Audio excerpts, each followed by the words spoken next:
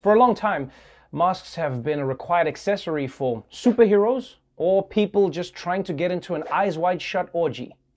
By the way, the secret password is I'm here for the orgy one. Now, when the coronavirus pandemic began, the CDC said people didn't need to wear masks unless they were showing symptoms. But a couple of weeks ago, they changed their mind after realizing that if everyone wore masks in public, it could stop people from spreading the disease.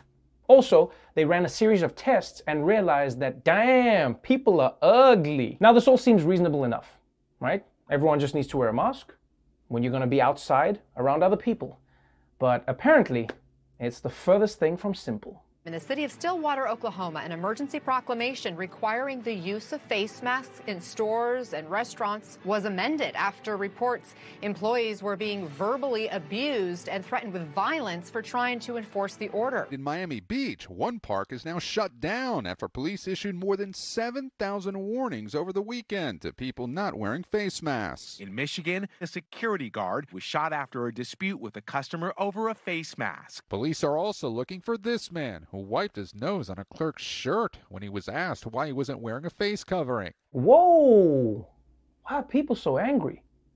Forget a vaccine. Scientists need to start working on a chill pill. Health officials are asking for us to cover our faces to protect ourselves, and everyone's acting like they have to get spayed and neutered. And the people who don't wear masks are ruining it for everyone. Like now, they had to close down that entire park in Miami. And Miami, you know I love you. But what are you doing? Getting mad about being asked to cover your face? I've been to Miami. Nobody's looking at anybody's faces.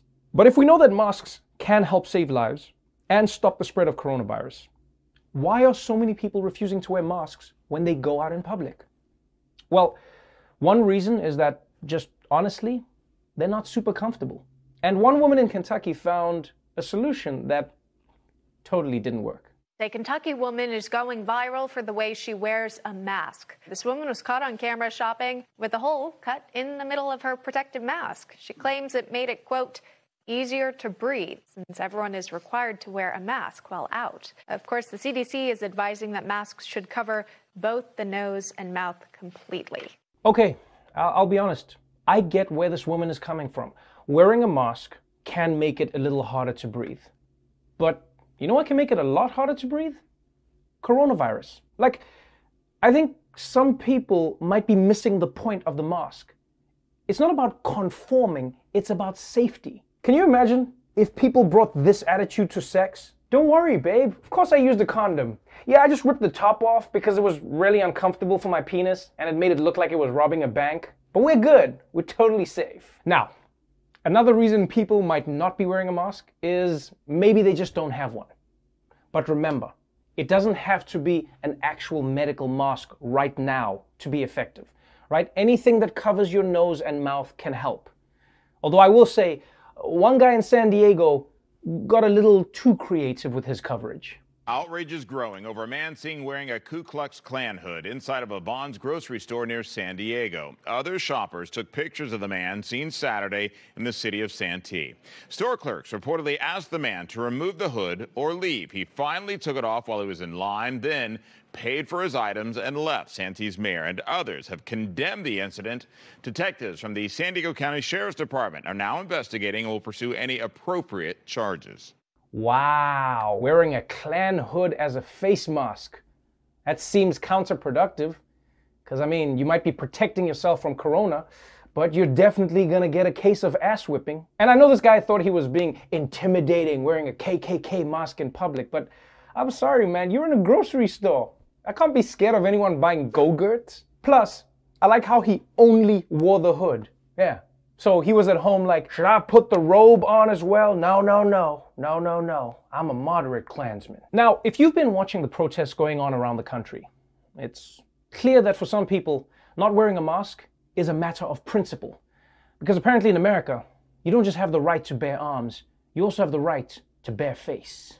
In Houston, you could get a $1,000 fine for not wearing a mask. That's led to at least one lawsuit and complaints of government overreach. These mandatory masks amount to government overreach. There is now a lawsuit over face mask requirements here in Harris County. There are many people who are unhappy with the order. Close to 150 demonstrators protested the mask mandate. I don't want to wear a mask.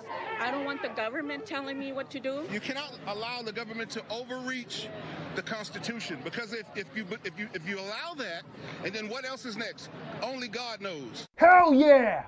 I'm sick of the government telling us what to do, telling us to wear masks. You got those red lights that tell us when we can drive, stopping me from buying romaine lettuce because it has E. coli on it. Some of us like the taste of E. coli. It's called the refined palate.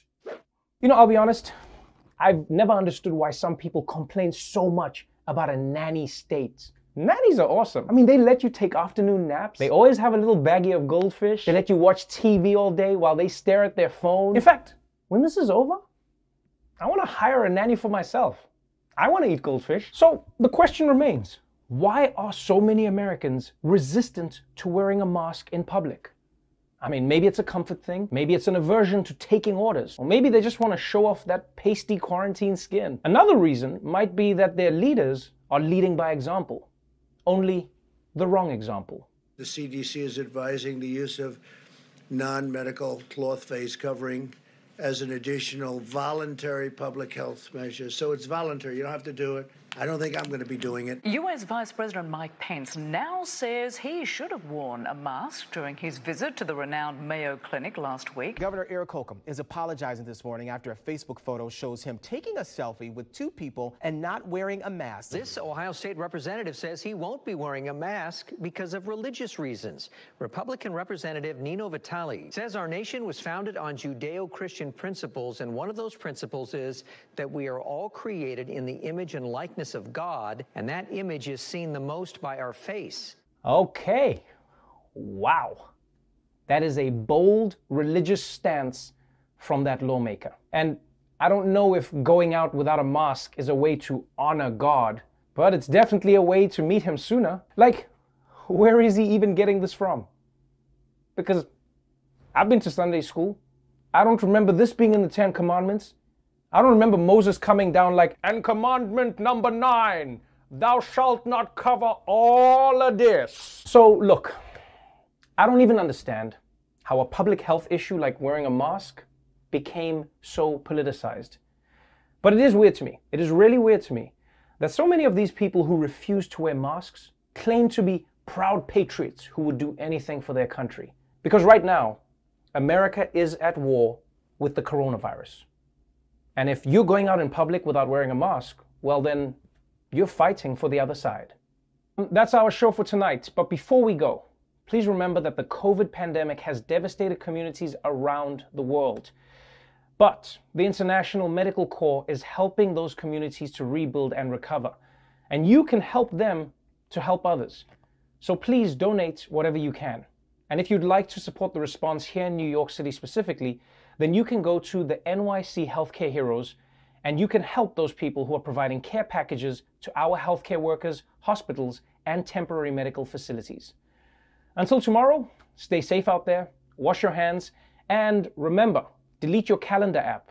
You don't need it anymore.